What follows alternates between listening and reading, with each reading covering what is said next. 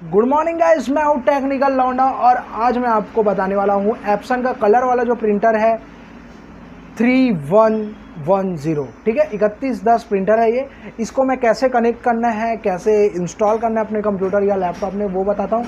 Software आपके पास है तो ठीक है। अगर सॉफ्टवेयर नहीं है तो कैसे डाउनलोड करें? तो ये है मॉडल प्रिंटर देखिए देखिए। ये हमारा प्रिंटर है इकतीस दस। ठीक है? कलर वाला इंक वाला प्रिंटर है ये। तो इसका केबल वगैरह यूएसबी केबल वगैरह आप लोग कनेक्ट कर लीजिएगा।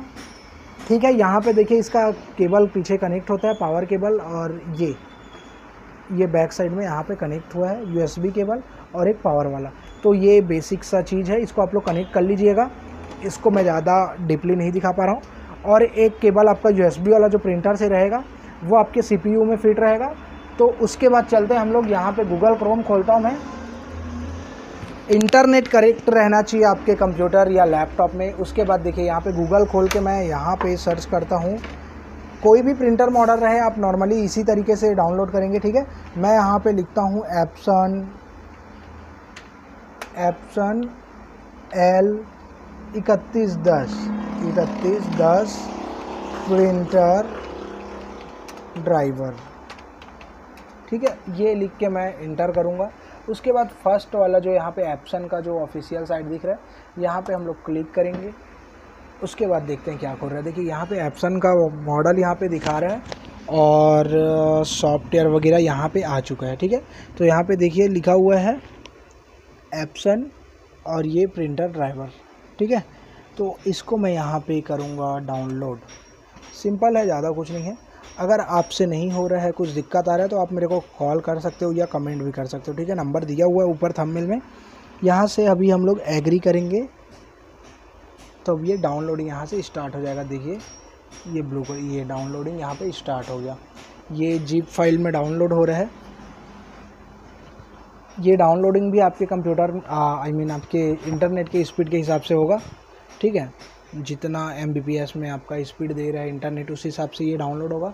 डाउनलोड होने के बाद इसको इंस्टॉल कैसे करते हैं, वो मैं बताऊँगा, ठीक है? और इस प्रकार से आप कोई भी कंप्यूटर सॉरी कोई भी प्रिंटर कोई से भी कंपनी का रहे, इसी तरह से ही हमको डाउनलोड करना है। चाहे वो कैनन का हो एचपी का हो ब्रदर का हो, जो भी रहे, और वो कलर वाला रहे या ब्लैक एंड वाइट वाला रहे। कोई सा भी प्रिंटर रहे या स्कैनर भी हो सकता है सिंपल खाली सिंगल वाला स्कैनर जो आता है, सिर्फ़ स्कैन करने का काम आता है, चाहे वो क्यों ना हो, ठीक है? इसी तरीके से आपको ड्राइवर डाउनलोड करना है, और अगर आपका विंडो चौंसठ बीट का है सिक्सटी फोर बीट का, या थर्टी टू बीट का है तो थर्टी टू बीट का।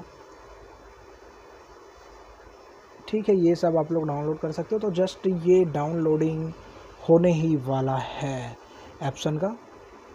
तो ये डाउनलोड हो गया, इसके बाद मैं डाउनलोड्स खोलूँगा।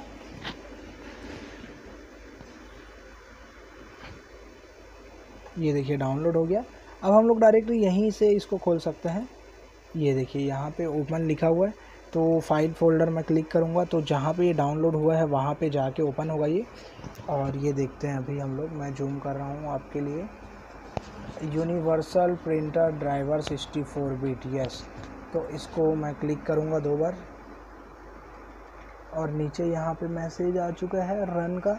मैं रन कर देता हूँ सिंपली उसके बाद देखिए यहाँ पे रन होना स्टार्ट हो गया है।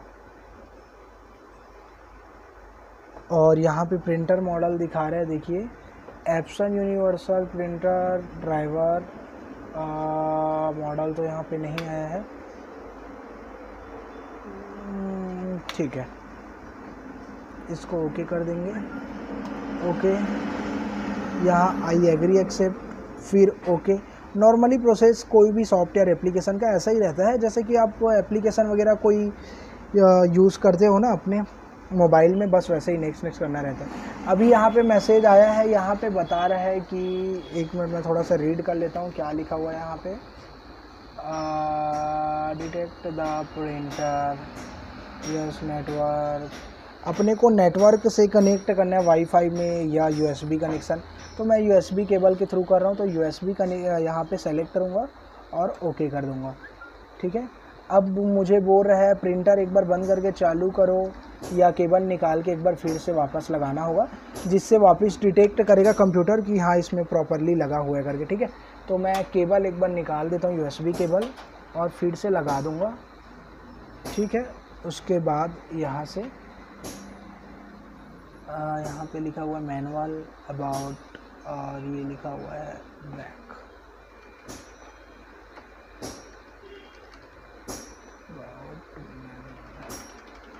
यहाँ पे अभी मैं मैनुअल में क्लिक करूँगा और यहाँ से क्या, यहाँ पे आ रहा है। यहाँ से हमको यूएसबी केबल के थ्रू हम लोग कनेक्ट कर कर रहे हैं ना तो इसीलिए हमको यू एस वन में कनेक्ट करना है। यू एस वन ठीक है? यू एस बी वन में हम लोग सेलेक्ट करेंगे और ओके कर देंगे।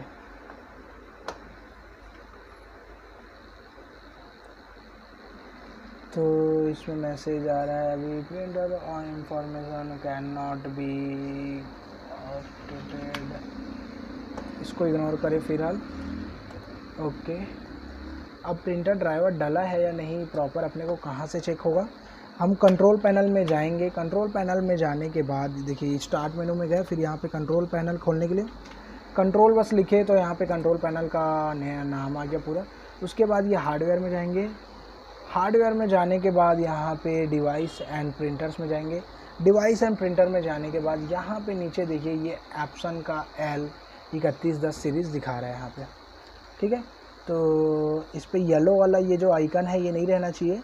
है ना, इसी कुछ प्रॉब्लम है। तो चलिए तो इस तरह से ये डलेगा इंस्टॉल होगा। और अधिकतर डल जाता है। ये मेरे सिस्टम में कुछ हुआ होगा प्रॉब्लम इसकी वजह से ऐसा येलो वाला आ रहा है ये। इसको राइट क्लिक करके आप इसमें सेट डिफ़ॉल्ट प्रिंटर करिएगा और इसको आप यूज़ कर सकते हो प्रिंटर को। ठीक है? अगर आपके में भी ऐसा येलो वाला आ रहा है तो इसके लिए मैं अलग से एक प्रॉपर वीडियो बनाया हूँ, कैसे सॉल्व होगा प्रॉब्लम तो उसके लिए आप मेरे को वो वीडियो को देख सकते हो मेरा जाके, ठीक है? तो इस तरह से डाउनलोड होगा। एक बार मैं टेस्ट प्रिंट कर, करता हूँ। प्रिंटर प्रॉपर्टीज़ में जाएँगे और टेस्ट प्रिंट देंगे। तो देखिए ये प्रिंटर से पेपर खींचेगा।